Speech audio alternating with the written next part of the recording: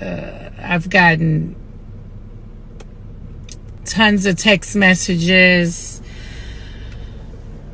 tons of emails. Everybody's asking and concerned about Brent, and uh, we thank you guys so much. Um, uh, this is not the way I wanted it to come out. Uh, we wanted to be able to talk about it ourselves when Brent was in a better place.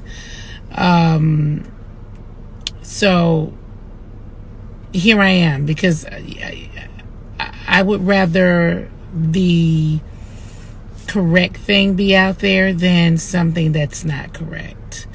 Uh, two weeks ago today, uh, Brent had congested heart failure and a stroke.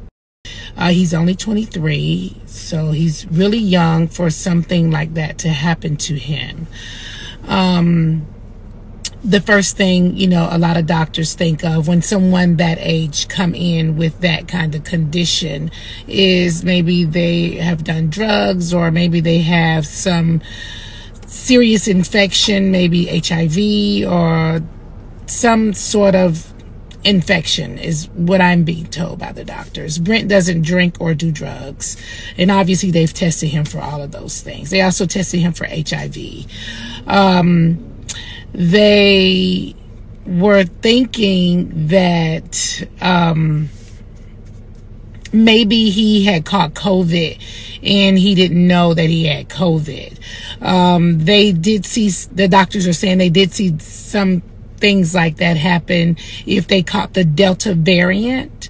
And uh, he never knew he had COVID. Um, I've never known him to have COVID. Um, so they have run a number of tests on him to see what could have possibly made this happen to him. And uh, we are still trying to figure out because if we knew the cause, obviously they could treat the cause. Um, it was it was very scary. Um, um, I, I, don't even want to go into details of what happened and how I found out and what condition he was in. Um, obviously.